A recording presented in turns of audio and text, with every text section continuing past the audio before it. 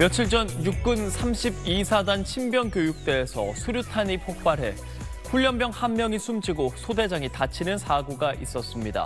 숨진 훈련병의 어머니가 비통한 심경을 밝혔습니다. 어제 온라인 커뮤니티에는 수류탄 폭발 사고로 숨진 훈련병의 어머니가 남긴 글이 올라왔습니다.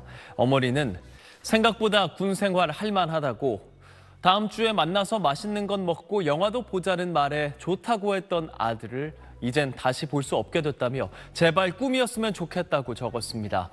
아들이 왜 이런 위험에 노출됐고 사고로 이어졌는지 그 순간 얼마나 두려웠을지라며 비통한 마음도 전했습니다.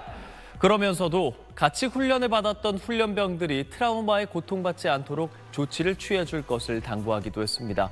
육군은 유가족과 협의해 장례식 절차를 돕는 한편 사고의 경위와 부대 탄약, 병력 관리 등을 조사하고 있습니다. 육군 관계자는 남은 훈련병들에 대한 심리 안정 지원도 철저히 하겠다고 밝혔습니다.